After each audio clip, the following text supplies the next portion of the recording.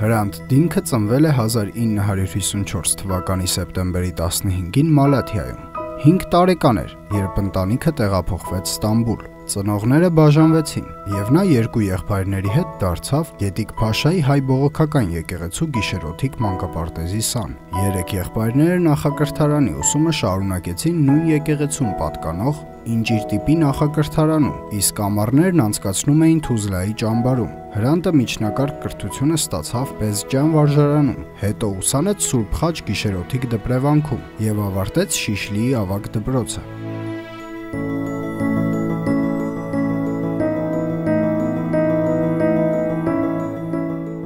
Դինքն ամուսնացավ Վարդո Գերդաստանից Սիլոփում ծնված Ռաքել Աղբասանի հետ, որի հետ ծանոթացել էր դեռևս նախակրթարանում։ Նրանք ունեցան 3 զավակ։ Հրանտն ուսանեց Ստամբուլի համալսարանի կենսաբանության, հետո փիլիսոփայության բաժնում։ Նա մտահոգ էր, որ իր քաղաքական գործունեությունը կարող է կապվել հայկական ինքնության հետ եւ վնաս պատճառել Թուրքիայում ապրող հայկական համայնքին։ Այս պատճառով իր անունը դատարանի որոշումով փոխեց Ֆրաթի։ Հրանտ Դինքը եւ կինը Ռաքելը ստանձնեցին ղեկավարությունը Թուզլայի մանկական ճամբարի, որտեղ իրենք էին ժամանակին մեծացել եւ մեծ թվով անտեր հայ մանուկների տեր կանգնեցին։ Հայ զինվորներ են պատրաստում մեղադրանքով ճամբարը պետության կողմից փակվեց եւ Դինքը քաղաքական հայացքների պատճառով 3 անգամ հարցակնվեց եւ բանտարկվեց։ Դինքն իր եղբայրների հետ գրախանութ բացեց։ 90-ական թվականներին նա մարմարա հայերեն թերթում սկսեց հայերի մասին Թուրքիայում լույս տեսնող գրքերի վերաբերյալ գրախոսականներ տպել ջութակ ծածկանունով։ 1996-ի ապրիլի 5-ին Դինքը հիմնադրեց Ակոսը, որը Ստամբուլում թուրքերեն հայերեն հրատարակվող առաջին շաբաթաթերթն է։ Ակոսի հիմնական նպատակը թուրքահայ համայնքի մայրենի լեզուն չիմացող թուրքախոս անդամներին հասանելի թերթ ստեղծելն էր։ Կառավարության հետ ունեցած հարցերն իր ձայնով արտահայտելով հասարակական կարծիքի աջակցություն ստանալը եւ հայ մշակույթն ու պատմությունը թուրք ժողովրդին ծանոթացնելը։ Որպես Ակոսի գլխավոր խմբագիր Հրանտը հանրային ուշադրություն էր գրավում իր ելույթներով, որը նոր հորիզոններ բացեց բանավեճի համար։ Նա նաև սյունակներ գրեց՝ Յենի Յուզլել եւ Պիրկյուն օրաթերթերի համար։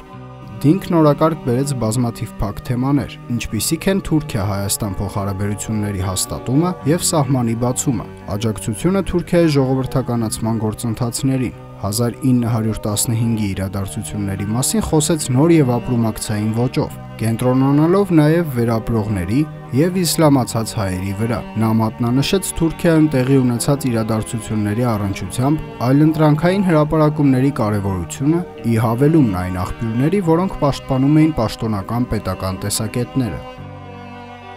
Դինքը Ամերիկայի Միացյալ Նահանգներում Ավստրալիայում, Եվրոպայում եւ Հայաստանում մասնակցեց բազմաթիվ համաժողովների, որտեղ հայկական ինքնության եւ հայ-թուրքական հարաբերությունների մասին ուշագրավ ելույթներ ունեցավ։ 2002 թվականին Դինքի դեմ դատական գործ հարուցվեց Ուրֆայում, ինքնության եւ քաղաքացիության թեմաներով համաժողովում ունեցած ելույթի պատճառով։ 2006 թվականի փետրվարի 9-ին ազատ արձակվեց։ Դատական գործի պատճառը եղավ այն, որ Հրանտ Նակոսում հոդված հրատարակեց այն մասին, որ Թուրքիայի Հանրապետության հիմնադիր Աթաթուրքի հոգեզավակը Սաբիհա Գյոքչենը կարող է ունենալ հայկական ցակում եւ ազգականներ Հայաստանում։ Սապիհա Խաթունին գաղտնիքը խորագրով նյութի մեջ այն թափում ծնված Հայաստանի քաղաքացի Ռիփսիմե Սեպիլճյան Կազալյանը պնդում էր, որ ինքը Գյոքչենի եղբոր աղջիկն է եւ Աթաթուրքի հոգեզավակն իրականում որփանոցից վերցրած հայ որփուհի էր։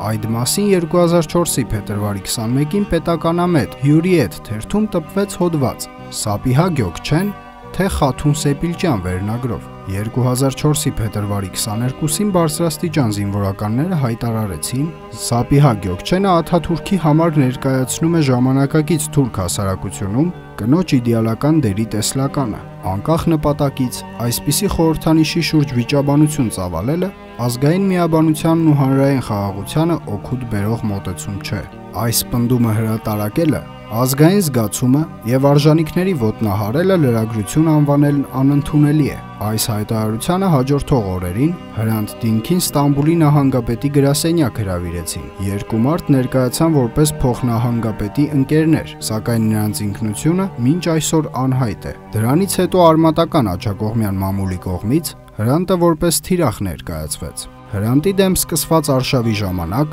նրա սյունակներից մեկից հայկական ինքնության մասին նյութի կոնտեքստից հանվեց մեկ նախադասություն։ Թուրքեն պարբվելիք այն թունավոր արյան տեղը լցներիք մաքուր արյունը հայուն Հայաստանի հետ հաստատած ազնվական երակին մեջ գոյություն ունի։ Նախադասությունը ներկայացվեց թշնամաբար, որպես Հրանտ Դինքի կողմից վիրավորանք թուրքականությանը։ Սա հանգեցրեց նոր դատական գործի։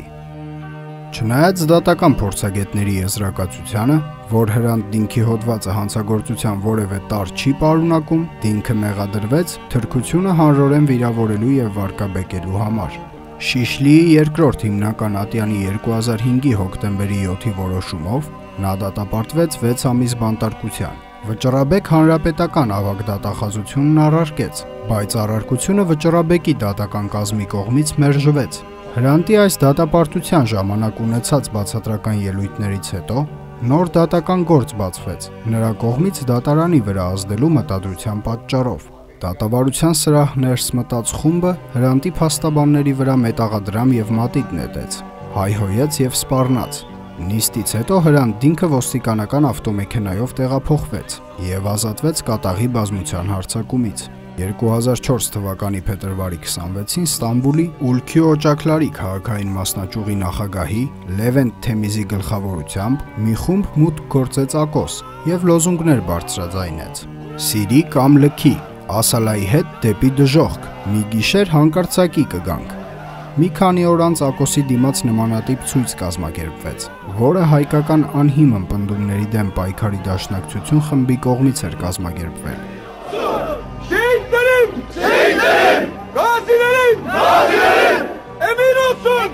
olsun! 2007-ի հունվարի 19-ին Ակոսի շենքի առջևում գլխին արձակված գրակոցից սպանվեց Հրանտ Դինքը։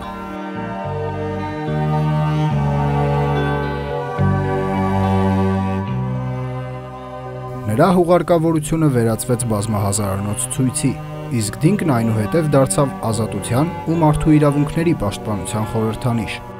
5 տարի ընթացող դատավարությունից հետո 2012 թվականի հունվարի 17-ին հրապարակված դատավճռի համաձայն Դինքի սպանության հետևում որևէ հանցավոր խմբավորում կանգնած չէ, ինչի հետ համակարծիք չեն Դինքի փաստաբանները, ընտանիքը եւ Թուրքիայի ժողովրդավարացման, հաստատման եւ հայատյացության դեմ պայքարող բոլոր մարդիկ։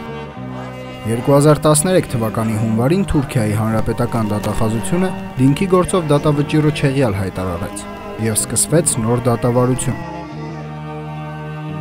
Դինքի ընտանիքի անդամները չեն հավատում թուրքական դատարանի արդարությանը եւ չեն մասնակցում նիստերին։